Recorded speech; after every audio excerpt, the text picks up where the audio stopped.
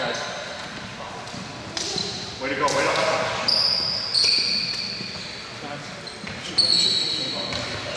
Hey guys,